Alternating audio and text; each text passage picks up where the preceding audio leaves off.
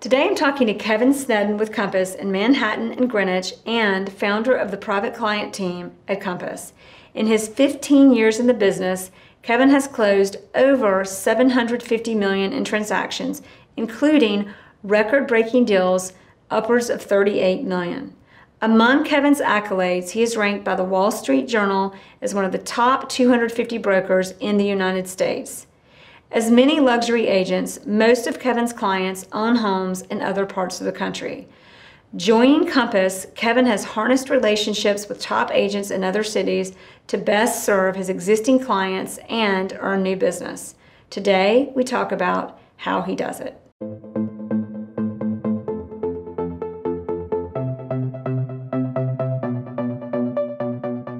Thanks for listening to the Jere Metcalf podcast, where top real estate agents tell how they do it.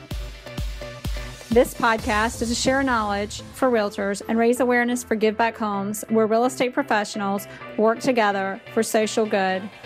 Jet Centers Aviation, Bentley Atlanta, Legends Global, thank you for your sponsorship. All right, everybody, it's the Jere Metcalf podcast, and today on the show, we are so excited to have Kevin Sneddon with Compass. He works in two markets. He's in Greenwich and in Manhattan. Kevin, welcome to the show. Hey, Jere. Great. Great to be here. Thanks for having me. Thanks for coming. So this guy's up to big things. He's in two markets and he's we're going to share a little bit more about some things he's doing to really help clients with big portfolios. But before we do that, tell us just a little bit about and a few records. You've got some pretty record-breaking sales on the on the high end. But before we get into all of that, tell us a little bit about how and why you became a real estate agent in the first place.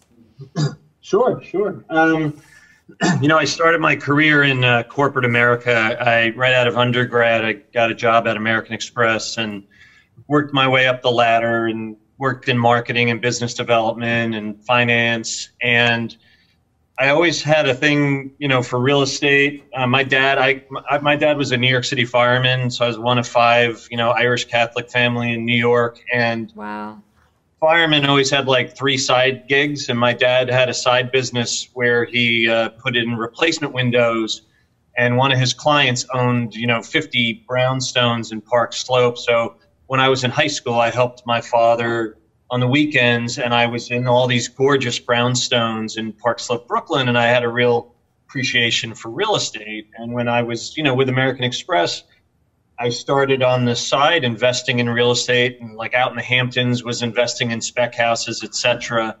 And I, you know, I got a point in my career, you know, I was a vice president, I had a good job, but I just wanted something. I wanted to be an entrepreneur, so I got into. I you know I left American Express and became a real estate investor developer, and I was flipping apartments in New York and building spec houses out in wow. the Hamptons. And I and through that process, I didn't feel like at that time real estate brokers had strong business acumen, right? So I thought that I could do it better, and I launched a specialized brokerage at that time called Project Real Estate that was. Uh, oriented towards dealing with investors, developers, and took a real, you know, business approach, almost like a commercial real estate broker would take to the investment side of residential real estate. And that's so that's how I got into, you know, the real estate brokerage arena. Wow. So you started it was called Project Real Estate? Yep. And this was your yep. brokerage and you started this brokerage and the idea was first of all, you started on the ground with your dad. He was a builder, kind of on the side, and a fireman and worked with him 50 beautiful brownstones. Then you become a developer. Now that's a pretty big that's pretty huge to step how did in to step into that development role how did you did you start with an investor or just small houses or how did that kind of come together?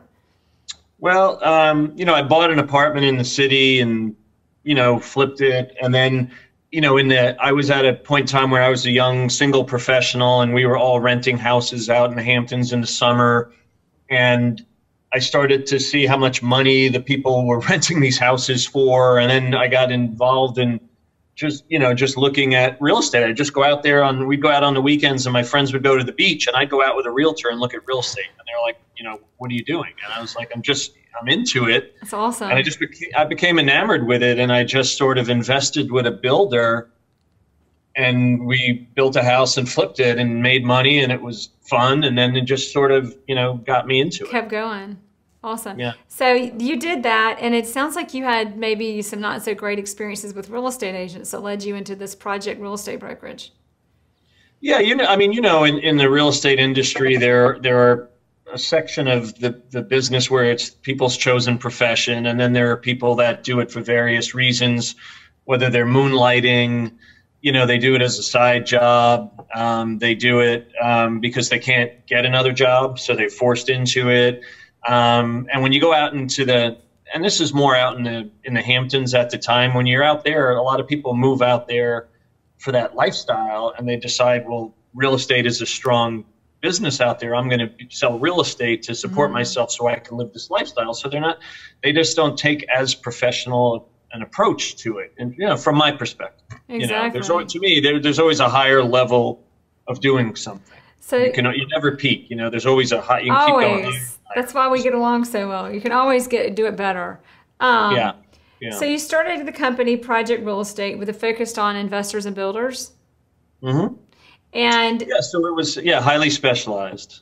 So and tell us a little bit about how that started. How the shift from being in the development builder world to the real estate agent. Were there any ahas for you? Were there was there or how did that go? Just give us a little bit about that story and sure. go back to. I mean, here's how it, here's how it worked. I mean, number one, I, I leaned on my you know my 12 years of business experience at American Express um, to sort of look at the business side of this. So I was all about you know spreadsheets and doing investment pro formas for people. So it, the conversation with me was not the typical conversation that you'd have with a, with another real estate agent out there. And then I also had the experience, the direct experience from developing. So when you're talking to a developer and you've built spec houses, you, you know, it's a different conversation than if you've never done that, right? So it's yeah. almost like if I own a restaurant and I'm a chef, it's a, I'm going to have a different perspective, you know, on it because I run a restaurant, but I'm also a chef versus, you know, someone that hasn't done either and then wants to run a restaurant business. You exactly. Exactly.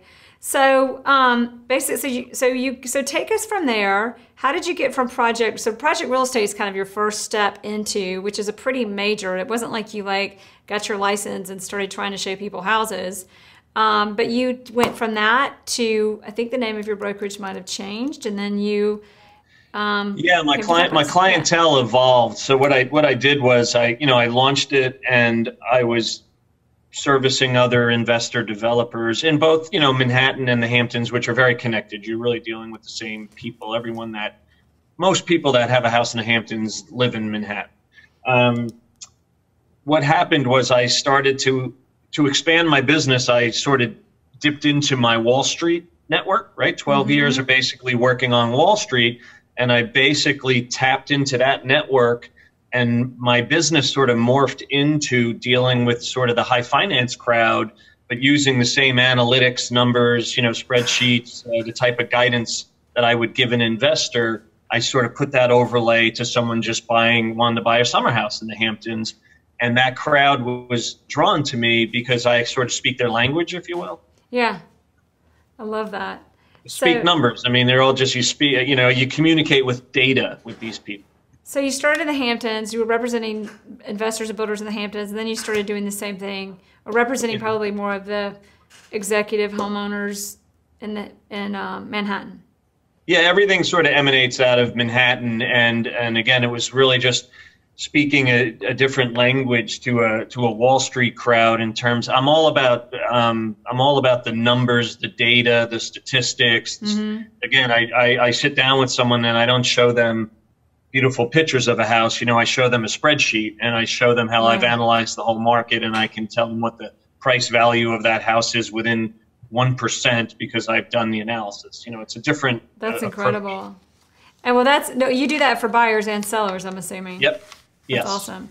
So, tell, so tell me a little bit about, um, I want to go, I'm kind of thinking two directions with you now, but if, I want to learn a little bit more about communicating with clients. Because I think in our business, a lot of people, there's the two ends of it is it's more emotional because you're buying a home. but everybody always wants to use a spreadsheet or logic to justify whatever that emotion is. So you are almost approaching it the opposite. You've got an emotional buyer, but you're the one who comes in and says, okay, here's your spreadsheet so you know what you're really getting. Now decide how you really feel about it. Are you, I mean, like, give us some examples of how that gives people comfort or not, or what your experience with that has been. And just give us some stories about how the first time you did that, what did the, what did your client have to say and how did they feel about it? And how did you figure out how to put these together? And, yeah, I think that for, I think, um, I think that the conversation, it just, it felt different. The feedback I was getting initially from clients was like, you're different. You think about this differently you know, you give object, objective experience. I feel like you're standing on my side of the table. You're not trying to sell me something. You're trying to guide me through a process that you have been through. Right. right? And that's refreshing, right? And it right. makes me comfortable and it makes me trust you. So that's sort of the dialogue that I sort of created um, between myself and my clients. I would have said, Kevin, I really want this house. Just make the spreadsheet look good for what I have to pay for it. Would you just do that so I can buy what I want? Do you ever get any of that? you know, it's interesting what I've done to a fault. If I don't, if someone might want to, a client of mine might want to actually buy something, and if I think that they're paying too much or it's the wrong, right. I'll talk them out of it. Right. You know, where I could make a nice commission because I just, I just, if it's not right for them, if the numbers don't work, you know how like people will go, it's sort of like a wealth manager or a financial advisor or a banker approach. Someone wants to pull the trigger on some impulse purchase and they call their financial advisor and they're like, no, you know, you haven't yeah. thought about this, this, and this. So that's sort of my approach, which people, you get like this immediate trust thing with yeah. me and it just works for me. Exactly. So your, your, your brokerage, I think at some point, because, um, you've taken this to a whole new level at Compass, but within, was it called, because you have the private client group at Compass now, but wasn't that the name of, didn't that some, it's somewhere along the line become the name of your brokerage? Right. So, so what I did was when, um, you know, we, we, we rode a high market until the market crashed out into, in 2008 and, and sort of when you reemerged, you know, from that in, into 2009 and beyond, um, people started to think about real estate very differently, right? Mm-hmm. Uh, before 2008, um, you know, I got into real estate in 2004. So and for a good, right, a good so, four years, the, the, the, market was going in one direction. And north. you had and you had the project real estate. Was it Project Real Estate Group? It was Project Real Estate. So that was in 2004. I launched that in 2004, okay. and you know, within a year and a half, like I told you, I was dealing with investors, developers, and then I started to work the Wall Street crowd. And in under two years, did like a major deal, an oceanfront property out in the Hamptons was like $26 million. And it, and that's where this sort of my business sort of really started to get into that Wall Street crowd, private bankers and hedge fund managers and all that. And the market in New York and the Hamptons was just riding high. It was going up in the Hamptons. It was going up like 20% a year. Wow. I mean, so, yeah. you know, once the market crashed out, you know, there were people that just didn't think the real estate market could go down, right? So it was yeah. a, so they were wanting a lot, they were wanting more of the guidance that I give, more so than like the salesmanship that another broker might bring to the table, right? right? They wanted, they would measure five times now before they cut versus not even measuring and cutting because they just felt like a strong market growth would always just save them, even if they were overpaying for something. Oh, in two years, it's going to be worth more than this. The problem anyway. every, is everybody was thinking that. Well, there were a lot yeah. of other problems too. So, so, so when, the, yeah, go ahead. Right. So when I felt like that things were changing and the, and the conversation was changing, sort of a couple of years beyond that, I and I really started to focus then because you have to understand once the things crashed out, the investor developer sort of dried up. That business sort of dried up, right? So yeah. then I basically was really focused 100% on my Wall Street network right. and using the analytics to speak their language. So then a couple, you know, two years later, I said, you know what? I think I need to rebrand. Project Real Estate is really a brand that services developers, but now I'm servicing a high net worth Wall Street professional so right. I repositioned and rebranded it, and I and I launched a new brokerage called Private Client Realty. Oh, love that. Name. And that was in 2012. Okay. So that speaks more towards the, the, the approach was more like, hey, I'm like your private banker, your wealth manager, or I manage your family office, and I look at your real estate holdings like they're financial assets, and I'm going to advise you accordingly. And based on what had gone on, all the carnage in the real estate markets, especially in the high end, that was a sort of a welcome approach, and I really picked up a lot more clients with that brand than the project real estate brand that wasn't really working that hard for me because a lot of investor developers just weren't in the market. Wow. So 2012, you had already been doing it, but your private client grew or private client realty, private client realty, you start really advising and winning clients. I mean, that's, that's brilliant branding on, you're taking them in, you're almost like the, which is what we should all be, the real estate advisor and treating them as the financial assets that they are and sometimes liabilities. Um, and then tell us from 2012, you kept growing this business. And where did Compass come into play? Sure. So, so what happened is, in, so in 2012, we had a nice, um, we had a nice run again, which sort of peaked into the end of 2015. Mm-hmm. Um, and then, you know, when you got into the uh, election, the presidential election cycle, mm-hmm. things started to quiet down, certainly at the high end. And, you know, New York to a large extent and the Hamptons to a lesser extent are driven, you know, there's a lot of foreign buyers that bank money, you know, in these markets. And, and with the, all the uncertainty around the election, a lot, you know, the foreign buyers sort of pulled back and out in the Hamptons, um, you know, the, the, the high finance crowd wasn't making as much money and their compensation structure was changing. So, um, I was really exclusively like playing in the high end, you know, mm-hmm. so so that business oh, yeah. was, changing, right? So I had a lot of clients that really appreciated the advice that I would give, but they weren't active.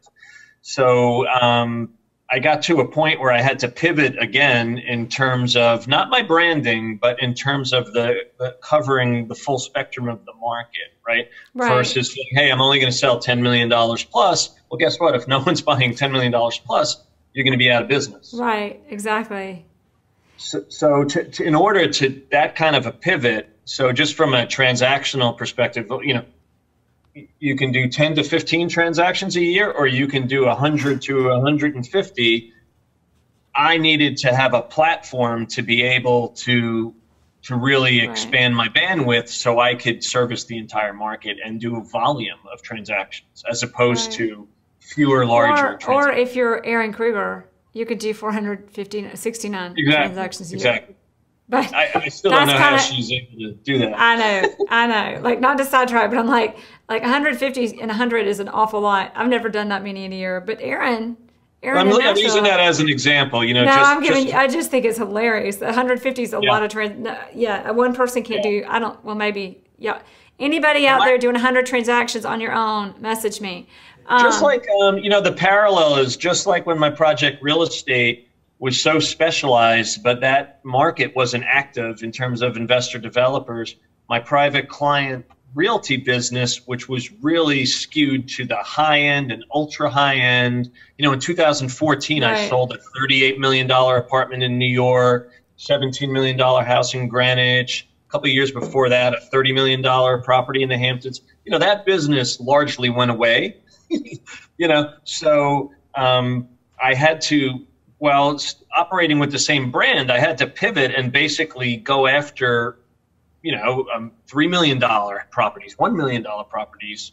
Um, one, one business I do in New York a lot now and other places is high end rentals. So if the high end person isn't buying, you know, they're renting. I did a, I, I recently did a right. rental in New York for $80,000 a month, you know, for example, right? So, right Okay. Very different, you know, transaction than a that, that would have been a thirty million dollar apartment. Um, so exactly. I, I I basically went in and set up a meeting with Robert Reffkin, you know, at Compass, and I basically said to him, I walked in the door and said, um, I'm I'm needing to pivot. Uh, you know, I'm resource constrained. I don't have the capacity to do a hundred transactions. I need to come in and tap into your platform and be powered by your technology, you know, to be able to scale my private client model. And I want to take it multi-market and national. and I want to be able. Another thing was if I have clients that own four to six homes and there's not nothing going on with their primary home, which is the the home that I'm usually dealing with, why can't I advise them on their other five homes? And a way to do that was to come to Compass and build out this team. So if I have a client in New York that wants to buy a house in uh, LA, I can do that now. You well, know, I and, can. And it also attracts those clients to work with you because they know right. that you know the agents and the net. You have the network in their other markets to make sure you've got agents in other mar- in other markets working on houses and I'm sure you can elaborate on this, but I have to add it is that when you've got a group of agents working together who have relationships with one another, it blows my mind how many times I talk to agents and their clients are selling in a house in California and they're going even if they don't need to sell to buy there's still a lot to coordinate between the two transactions. And the agents have never spoken. And the no, things that it's go true. wrong when those agents aren't speaking and the recommendations that the agents in the other markets make against one another instead of for one another because there are no relationships there.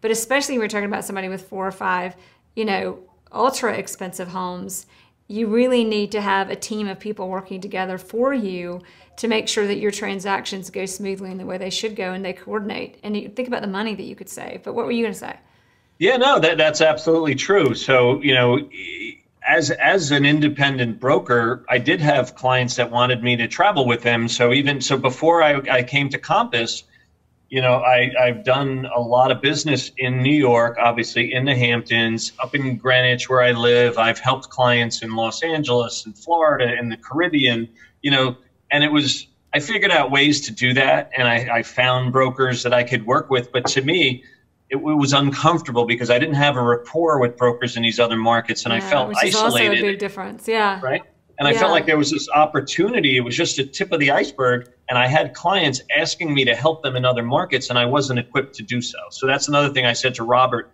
I want to be equipped to do that, you know. And I think coming into Compass is a way to do that. And the other thing I was lacking was from a technological perspective I felt like in a few years I was going to be obsolete. I was going to be viewed as an old school real estate broker, right. and I needed to come into Compass and get in front of that techn- technology curve so that wouldn't happen. Exactly, exactly. Great point. So you've got the private client group. Um, tell me this: How is the private client group really changing the game of real estate, and what is it doing to our profession? I think um, th- there's two. I think there's two ways that that it's really changing it, and, and and again, it's always about elevating your service level. There's always. I feel like there's always. I learn every day in this business. Still, I learn on every transaction. I just think there's. I think there's a way to elevate your game every day, every week, every month, every year. And mm-hmm. I, when I sit back and I think about it, and I think about what we've sort of built here, which you're a part of, you know, at Compass, is that we're a privately owned company now. We've got, I think, 30 partners on the private client team. We we all share the same perspective on, you know, it's all about the client, and we're all guided by, you know, servicing the client at the at the highest level. We've got a rapport. We're sharing best practices. You know, we're sharing marketing resources, et cetera. And I think now that we're all equipped to say to our respective, you know, basic clients, not only can I help you in the home market here, but I can help you in 30 luxury markets, you know, around the country. And I don't think there's another broker out there that can say the same thing, you know, because if you work for a company that has franchises and this and that, it's just not the same and, thing that we've built. And I don't think there is I always love how I always want to disclose this isn't a Compass commercial. I made this for real estate right. agents, but of course we're at Compass, so Compass is going to come into it, and it's relevant to exactly what we're talking about. I don't think there is another real estate brokerage this big. We have, I think we have eight thousand agents. Yeah, yeah. But I don't think there's another nationwide real estate brokerage that's under one that's actually truly one company. There's not. There's not. That's, which I, which is, yeah. The other companies, it's yeah, it's a name. I'm not even going to name names because I don't want to get myself in trouble. But right. whatever company you think of that's national, that company is owned by different people in different markets. So it's not really. You don't have the same you don't necessarily have the same infrastructure or you really don't have the same company. You just have the same name across Right. the country. We're truly the same company and the same resources. So, Which is so, fascinating. so, so the bottom line is we have Yeah. a team now, and if and if the client has seven homes in seven different markets in the country, one team now can service that client. Like really one team, not for, for not for pretend, but for real. Just saying. Yeah, no, for real, for real. Just saying in the ATL for real. Yeah. No, and, and that's and my clients who I've spent a lot of time with sort of educating them about this and when I sit with them and I can and what the other thing is too is I talk to you and everybody uh, week in and week out I'm either Yeah. trading emails or texts or talking on the phone to people in other markets and now I know when I'm with my clients they can see I know what's going on I just was before Yeah, this uh, interview I was on the phone with a client who's a wealth manager talking about Nashville right? Because he asked me about Nashville, and I know all about Nashville. Nashville's a great market too, by the way. Just uh, again, Erin Kruger. We're gonna be tagging her all over this interview. That girl's in a great market though, and a great girl. Um, but yeah, I mean, no, but you're exactly The other, right. the other thing is, so the so that's like so servicing a client in multiple markets, and then the other thing is, if I'm going after a listing now, I, there's a private client page now in the listing pitch, and I can be in New York City, and I can tell a client, listen, I have partners in 30 other markets that can help me promote this listing in their markets, and exactly. you know, we don't know if the buyer's coming from Aspen or Palo Alto or Miami or Atlanta. And the clients look at me and they're like, wow, that's a pretty compelling promotional capability that you've built that no other broker really has presented to me. Right? Exactly. So, Exactly. Well, because it's it's it's how many the person that's going to buy the house, and I think it's different for every house in every market. And Josh Totoli, who's actually in the private client group, who we've recently interviewed in Fort Lauderdale, he does. I don't know if you know this, and maybe you do the same, but he actually goes when he presents his analysis on the property value. Part of his analysis isn't just like here's where they are and here's what they sold for, but then he goes back and he pulls tax records and everything, and he says he pulls all the buyer names and he researches the buyers or call I mean I Where would just call the from. agents, but where did they come from? And here's the markets. I mean, like I'm, he's got, I want to see that spreadsheet. But he promised me, Isaac, make sure he sends it. Anyway, but but that spreadsheet of here's where they're coming from and here so these are basically like we kind of know the general feeder markets to wherever we are. Like the feeder markets to Atlanta are definitely Nashville, Asheville, Miami, LA, New York but Dallas and Houston, Dallas for sure, Raleigh. But Right. in those markets, okay, so we're going to market to them, but where did the buyers, where, did- what is a track record? Like the actual track record of a home just like this one. Where did they mm-hmm. come from? And then Right. here's a direct access and resource to other agents in other markets to get the buyer in front of us. Yeah, no, it's really, you know, so again, so if it's a buyer, I can say, so say I'm talking to a buyer client that I have in New York. I can say to that buyer too, if you if you want to go buy a house in Aspen or a condo in Miami or you know whatever, I can I can help you now, where mm-hmm. previously I really couldn't in the way I can now. And then if you're a seller, I'm like I can get you a greater promotional reach than any other broker because I have all these partners to to pool resources to do that, right? So those are two very and these days it's harder to sell real estate. Um, it's harder to buy real estate. It's harder to sell real estate. It's just far more complex. And my clients now feel like I'm more resourceful to them um, across their entire portfolio of, of residential real estate, where beforehand, not so much. You know, I could figure out how to do that, but that was very one off. And now it's like strategically together. And like, give you an example, there was someone in our town in Greenwich that literally my wife overheard a family saying they were moving to Houston. And my wife said, Oh, my husband has a partner in Houston, Caroline Bean. And I referred them to Caroline, and she just sold them a, a house, you know? And so the person in Greenwich was grateful to me that I could connect them to a great, you know, broker in Houston. And I could do that from Greenwich. And Caroline was appreciative of the business, and it works for everybody, you know? So, the, so the concept works. Well, we've actually got Caroline putting an executive in a rental right now, which I know we all don't love rentals unless they're in New York for 80 grand. But that's going to lead her into actually representing them in a home purchase. So, again, back to your point, I, um, I haven't even told you about that, but it was pretty awesome to be able to put that That's to great. put her together. So, on that, how do you because I bet everybody's thinking, okay, so you've got your group, but what about me? Do you ever have an agent, um, you know, when when you've you've got this group of agents and you've got this this source of business and you've built this business, what about agents in other markets that you don't have an agent in the group or there's already an agent in the group? How do you because I think it's really interesting and compelling how that is helped other agents. You, you don't have to be in the group to benefit from it.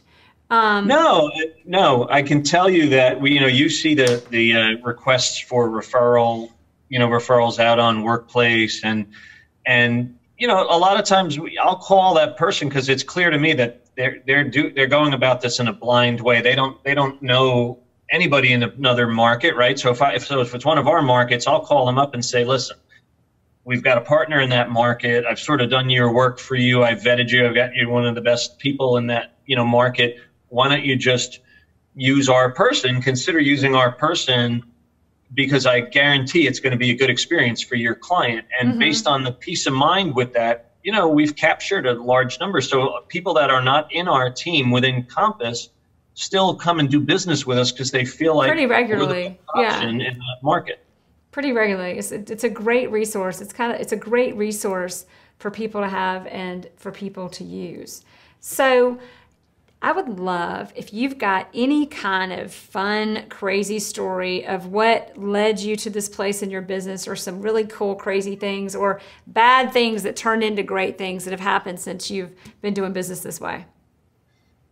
You know, it's interesting. Um, I think overall, I I I grew up in corporate America, right? And this is before I was married and had children, right? So I was in a I was I had a really nice career going that you know wasn't super chaotic. You know, I mean, I, I was promoted regularly. So it was much for that. You know, yeah. Nice nice environment to work. You know, very nice, classy. American Express is a very well run, you know, company yeah. and all that. And um, I I I left that behind. You know, and and threw myself into the world of the chaotic world of real estate. Right. Yeah. And just when you go from working in a corporate setting to just being an entrepreneur, no matter what the industry is, the dynamic is completely different, right? So you have to almost, I mean, I owe any success I have in real estate, I owe it to my business upbringing at American Express. But you, at the same time, you have to learn how to operate completely differently, right? So it's mm-hmm. almost like the, it's almost like being street smart versus being book smart, right? So yes. I was in more of a book smart environment, and then you have to get yourself into a street smart environment. And I can tell you, the first couple of years into real estate, I could not believe how people in the industry operated, certain people, clients and customers, how they operated. And it took me like two years to really understand like what a dog eat dog world it was, right? Um, right. And I thing, things bothered me that just don't bother me today. You know yeah. what I mean? In terms of the way yeah. you know someone I felt were disrespecting me or not a, not appreciating my my you know my business acumen or whatever. Um, yeah. Threw all that out the window now, and now a very thick skin. Nothing bothers me. I try not to add drama to this process because there's a lot of drama, and I try to be a calming influence, you know, on my clients. Exactly. And I stay, I stay focused, like my blinders are on and my my headphones are on, and I just stay focused on, you know, eye on the prize, executing for the client, getting the deal done. Yeah. And just navigating that crazy landscape that is real estate. It really is a, and and you know because you know all the personalities, every client is different. I've been involved in some really crazy situations in this business where it involves people's personal lives and yeah. it's it's it's really you get a look behind the curtain on how like a lot of people live and how they make decisions and it's really interesting though it really is so it, it couldn't be more different though and is risk yeah. now i'm in a business where the there's just a lot more risk and now i have you know a wife and children yeah. i almost did it in the reverse you know what i'm saying yes. i had the cushy job when i was single and now when I'm like the primary breadwinner, I have this this it's very so fun. Well, and Gary Vee, this may be I don't know how relevant it is, but Gary Vee the other day, I don't know why and how and where I saw it because I, I love Gary Vee. I should follow, I, I kind of follow him, but I don't pull. But anyway, he had this whole thing about how everybody like gets out of college and gets the cush job, and then they get crazy. But you're actually supposed to get crazy first. But hey, better late than never, right? Right right? Right. Because it's still a lot of fun. But I, get- I actually yeah. feel, Jere, I feel like knowing what I know now in real estate, if I went back to corporate America, I think I could run any company because I've seen everything. You You've know what I'm seen everything, and you understand. You understand what it feels like to take a risk. You understand when you've had you have failures. You feel Yeah. failures, and I think in real estate you feel it. Like in in a job, I don't know because I didn't. I never could. I, I got a job and I was like, this world makes no sense to me. This seems like a lot of like silly nuances to get to silly places, and nobody seems that smart here. Like nothing made sense to me in the corporate world. I was like, I'm out. I'm just gonna go make money. Right. I made money, a lot more money on my own, like in high school, than I was making in my first job in the corporate world. I was like, I can't do this. So I went back and became an entrepreneur, and here I am in residential real estate. no, no, you should be very proud, proud of yourself, Well, and you know. I don't know um, if I don't know if that's a good thing or a bad thing that I did that, but I could have gotten a lot out of being in a corporate job and understanding that world a little better. I got into it and it just wasn't a fit, and I got right back out. Um, Yeah. But tell me, you know, when you're when you when you made that shift from world to world, and you said you said something about like I feel like now I could come back and handle anything. Um, something it makes me think of, and I'd love to hear your thoughts. And I'm going to get a specific story from you out of you in a minute because we got a lot of vague examples, but I know there's a good like two or three stories in there It's plenty. but I remember, you know, getting at, you know, into this business and you, I, I like, I rode horses and trained horses and they're big and they're scary and it was entrepreneurial and I was like making my own money and having my own clients from very young age. But there was something about the negotiation of a real estate transaction, which it's not like it's a billion dollar transaction, but that was pretty intense and uncertain and the emotions and the reactions of people that you'd never seen before, never expected, you're experiencing it. And as you go through it, you realize, like you said, it, you don't take, like at some point, you're like, yeah, oh, wait, this isn't about me. This isn't my house. Yeah, it's my career, but I'm not, I'm, but I'm here in this moment for them, not for me. And it really gives you kind of a shift in perspective on life in general, which puts you, as stressful as a job could be, it may, it's made me a better and much happier person. Um, but would you say the same thing about you on, on when you said that? Like you said, you know, you've learned just to keep a steady Yeah, you- yeah. The difference, like in the corporate world, uh, to to a certain extent, I felt like I was making a large company make more money. You know what I'm saying? Like Yeah. it was it was something that was impersonal. I mean, I was on the client side of the business, but I had you know corporate, big big corporations as clients, and I just felt like it was just very impersonal. Where in real estate, it's very personal, and there's something to me the satisfaction when you when someone says to you like thank you for you know you helped us get our dream home or you helped us sell our home we were relocating and we really needed to get that done and you really helped our family like there's just a satisfaction that comes over you that's unlike anything else that i've ever experienced in the corporate world and the Do you know what I'm saying? connection that you get with your clients. yeah and a connection well. my clients now are like friends for life and they, we've sort of been through uh, an experience together that was stressful for them and we've bonded through that. And yeah no i love coming out the other side with clients. You know you, I, I love the whole process meeting them listening to them and then going out and executing for them and then going through that together sort of hand in hand and coming out the other side and celebrating the closing. And you have this bond now. I, Yeah. you know i really li- like that process. Yeah, exactly. And then ob- obviously thinking outside the box a little bit with things like the private client. Well, first it was private client realty, and now it's the private client group to just give yourself and give your clients more and more resources. Yeah, yeah. So now I have I have a lot more to offer in terms of people like you. I have partners. I've got Compass's technology. Exactly. You know their platform. I just have so much more to offer. All right, so I want to know. I don't want to know. Everybody wants to know. Give us one of your greatest, either, but you got to give us details, no names. One of your greatest, what is your greatest challenge that you've overcome in your business? And it could even be just some little transaction and dealing with people and an aha you had from it, or some huge deal. You know, I think you had a recent $38 million deal that you pulled off. Whatever it is, how did those pieces come together and how did it look like it was going to die and it didn't? And you, I mean, what, I want some good drama. We got to have some drama.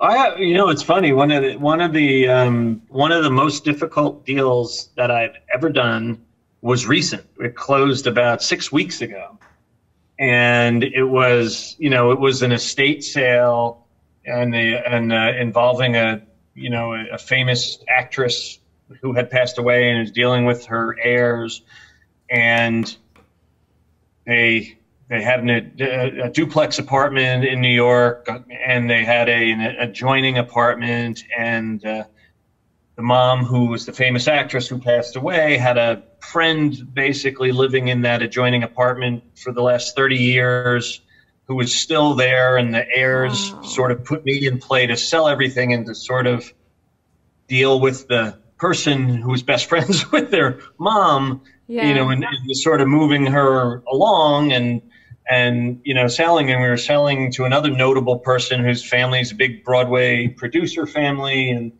and um, we got to a point in the you know we were in contract where the, all of a sudden the, you know the tenant decided that she didn't want to leave and was sort of personally offended that the heirs didn't take care of her and the heirs were offended that mom had let her live there for nothing for 30 years and it was so it got very personal on both sides. Yeah. And I sort of everyone involved, all the attorneys, there were attorneys, advisors, business managers, people on the buy side, everyone sort of just for some reason left it to me to figure out, standing in between all of these people. And the, this deal died a thousand times, but I kept at it and I kept doing creative things to sort of move the needle and pull everybody together and ultimately got it done where even like my manager in, in the New York office gave me like a 5% chance of getting closing this deal, you know, and I was, I was like, you don't so, know me. I don't like, I'm going to close this, you know, and to me, there's always yeah. a thousand ways to get something done. And I literally pulled every trick out of my real so, estate. So which one worked? What's that? What worked? What did you do? Can you tell us? I did, I did everything from, you know, I basically you know, part of when you're trying to get someone to move, think about someone that's lived somewhere for 30, 30 years. years. I basically yeah. took her out in a chauffeur driven car and took her to see 20 apartments and showed her, found her her next home, you know, and did that sort of in a pro bono way so that she could see where she is going, yeah. you know, and I did a lot of other things, you know, uh, to appease everybody else in the, in the transaction, some, you yeah. know, and um, and basically just kept just kept solving. We're, we're problem solvers in this, so every I solved a hundred problems, and I was working against a time limit too because the buyer had called for time of essence, so we had a we had a we, we really came down to the wire on closing this. Uh, wow. And then we, you know, even the closing, you know, things were happening at the closing that had to take place in order to close this. But it really, it really, it exhausted me to be honest with you. But it was, I was more proud of, you know, and it was a, a four million dollar deal, so it yeah. wasn't a forty million dollar deal, but it was. I was more proud of what I was able to figure out to close that. and sometimes it's just what you learn from one deal to take yeah. it to the next. I literally exactly that. I took learnings from other deals and put it all together on this one. And you are gonna you bet you learned some on this one to take to the next one um, too. Yeah, and I've been, you know, I've been. Uh, people get, uh, you know, I'm sort of. I've been an under the radar broker. So when I had private client realty, a lot of private minded people would get referred to me. So I've been involved in sensitive situations, if you will, like mm-hmm. finding real estate for someone who. The, the husband knew he was getting divorced, but the wife did not. Things of, you know, things yeah. of that nature. People would yeah. come to me with real sensitive yeah. you know, and trust me that I would, you know, keep keep things confidential and quietly execute for them in a you know yeah. ethical way. Everything is absolutely, ethical. absolutely. yeah. Just you know, they certain private-minded people get referred to me because they know that I just handle things quietly and professionally, and I don't ask a lot of questions. You know, you're kind of like a fixer. Most of us realtors are. Yeah. Right. Yeah. I mean, seriously, like that's what we are. We're fixers in real estate. And re- absolutely, realtor, yeah, our our title should be fixers in residential real estate because that is what we are. Like absolutely, absolutely, awesome. Absolutely. All right, so I've got my final three questions. Number one, we haven't talked a lot about technology because obviously you're leaving Compass, that up to Compass. We all are. Um, they seem to have it pretty well covered, but or I should say we. Um, but what would you say is your, and, and, it doesn't have to be technology, but your best, strongest, most beneficial tool in your business to get you where you are today and keep you growing? Well, from a from a from a compass perspective, and to be honest, you know, I've been to compass for. Well, now this isn't a compass question. This is a this I is understand, yeah yeah, yeah. okay okay. But, but I'm gonna my answer is gonna be broken down into two parts. So okay. from a from a compass perspective, um, tools like network, you know, and um, collections. I have to say, collections. I think it's a phenomenal tool, and I use collections every day, and it just is so efficient. And my clients are just so impressed with it. But it really just in terms of you know we, are dealing with so many clients and so many different transactions the way that it just keeps the dialogue you know together and consistent mm-hmm. with the feedback and the shared dialogue with the with the specific All property place. It's, yeah. it's really an invaluable tool and, and a tool like network is very um, efficient for me that i can reach out to brokers that have sold recently something similar to a new listing that i'm putting on and and, and that's in that's not that's in other markets not just your market yeah, that's another market, yeah. and um, especially when you're Compass, selling unique properties. Yeah, and Compass Concierge is is I think a game changer as well. Um, outside of what Compass, happened to one tool, Kevin? One. Now we're on all the tools. I'm giving you a hard time.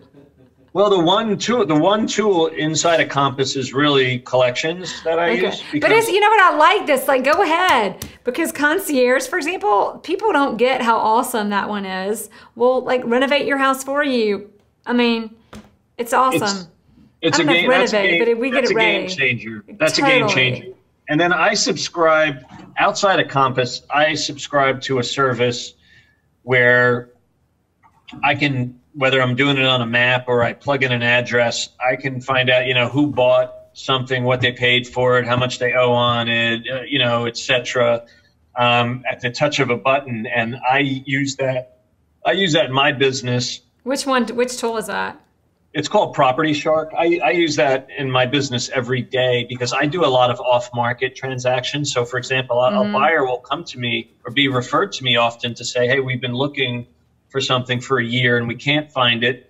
And we heard that you can find things like that off market. So I use that tool to approach, you know, off market owners and turn them into off market sellers. And yeah. it's it's it's a nationwide tool. And like I'll give you an example, and it and it puts me ahead of like most brokers. I'll, I'll give you an example. I'm working with Emily in LA. I have a, a client in in uh, Greenwich that wants to build a spec house in Los Angeles in Pacific mm-hmm. Palisades and I, they, there's an off-market listing that they had brought to me that Emily had brought to me. So I go on my PropertyShark map, and I could tell what's going on around that property. And when I spoke to the listing broker, I knew that the two adjacent properties had recently sold and who they sold to before he did. And he's a local Los Angeles broker who has a listing in All the right, Isaac, make sure I yeah. get that out. Isaac's over so there. I knew more about him. I knew more about what was going on around the house than that broker did from Greenwich. Wow. Because we can pull tax records, but we probably can't.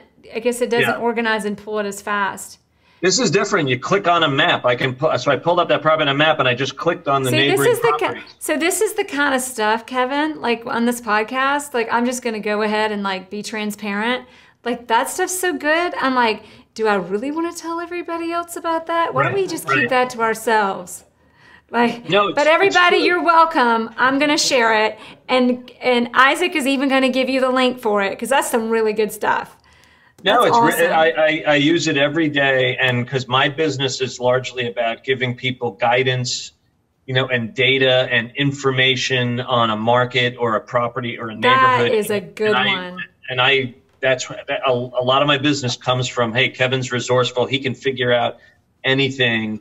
Just ask him. That is and a I, good one. Know, so yeah. so now we're gonna. I got two more. The next okay. one, I'm dying to hear which one this is from you because I can't. I can't figure out which one it would be from you. Um, because I think you've got like two. You've you're you've got this very like regimented spreadsheet calculations. Be legit logical, but there's definitely this hidden like creative guy in you. So which one? Which this is where I'm going with this what is your book? What in the world is the book that you would recommend? You're going to crack up. I mean, I I I'm not big into sort of industry, you know, trade books and you know, for lack of a better term, self help. I mean, like I, I like reading like John Grisham novels. I like reading like you know things like that. Um, so where you're so Kevin, when you read the John Grisham models, I mean books, novels, not models, novels. What are they, how do they help you sell houses? Well, to me, because they're very much there's a situation that usually gets Right. gets intense, gets out of hand, and then there's usually an underdog in that situation that is figuring it out and perseveres through being creative and finding loopholes in the law and all those other things. And I feel like that's what I do in real estate. I love it.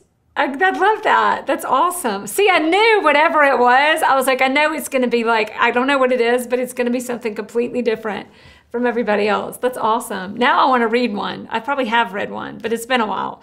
And Um, even on I'm like so watching a movie, I like a movie. I like a movie where an under, and a lot of people do, like where an underdog perseveres, or someone someone stumbles onto something and has a big idea, or you know, I just like I like how how a simple person can sort of change the world by you know finding a way to do it. You know what Yeah. that makes me think of? Have you read the book? But this goes. This is way more like mainstream for this than a than a John Grisham. But it's John Grisham, right?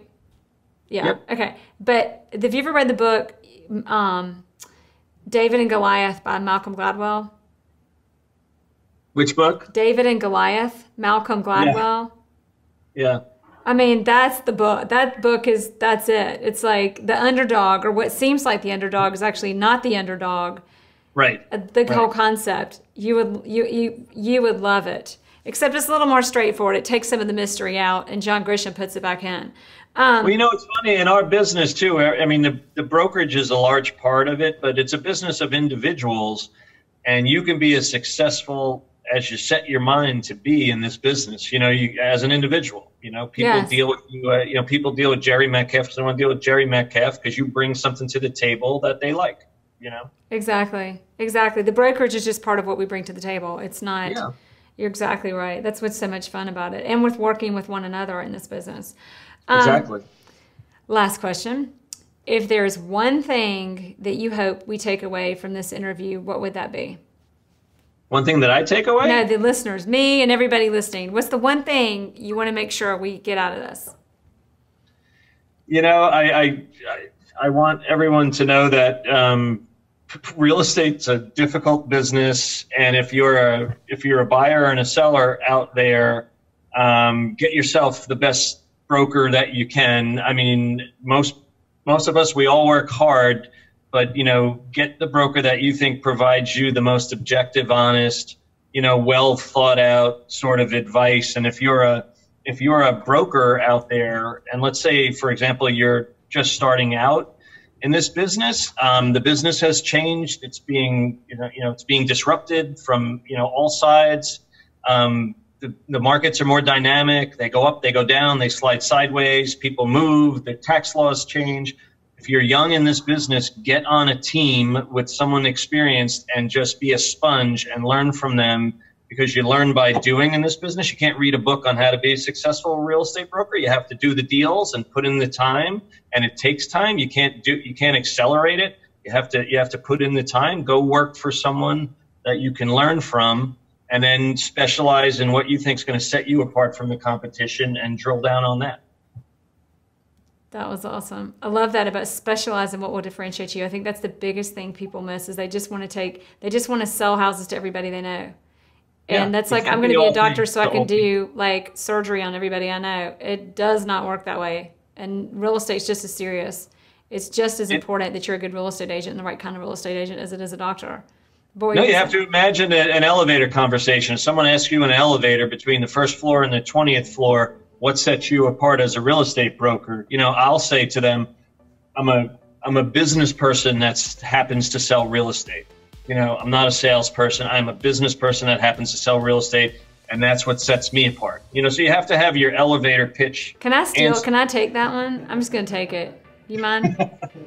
I like that one. That's good. I'm a podcaster that happens to. feel I, free to edit use it. that out, Isaac. Don't edit it out. Feel that's free to use it. Right. I like the business person. I'm killing Isaac now.